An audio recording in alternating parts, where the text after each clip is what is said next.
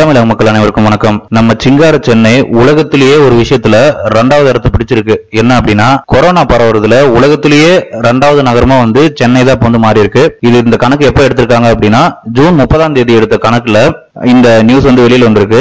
உலகத்திலேயே வேகமா பரவக்கூடிய இந்த ரேட்டிங் எங்க இருக்கு அப்படின்னா முதல்ல வந்து லாஸ் ஏஞ்சல்ஸ் ரெண்டாவதா வந்து சென்னை அப்புறம் சாண்டியாகோ நாலாவது இடத்துல மறுபடியும் டில்லி இருக்கு. அஞ்சாவது இடத்துல சாஃபாலோ அப்புறம் தானே அப்புறம் மியாமி அப்புறம் ஃபியூனஸ் அயர்ஸ் அப்படின்ட்டு வரிசையா வந்து கணக்கிடுறாங்க.